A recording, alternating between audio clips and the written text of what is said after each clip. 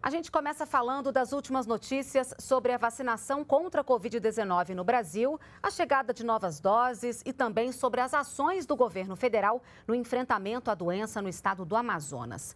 Quem tem essas informações para a gente é a repórter Alessandra Lago, direto do Rio de Janeiro. Oi, Alessandra, bom dia. Olá, Renata, bom dia. A COVAX Facility informou ao Ministério da Saúde que o Brasil deve receber 14 milhões de doses da vacina AstraZeneca Oxford a partir de fevereiro. O consórcio, que é ligado à OMS, estimula o desenvolvimento de vacinas contra a Covid-19. E o Ministério da Defesa fez uma parceria com o Ministério da Saúde para levar oxigênio para Manaus. A Marinha coordena a ação. A, estima, a previsão é de que 90 mil metros cúbicos de oxigênio cheguem na capital do Amazonas esta semana.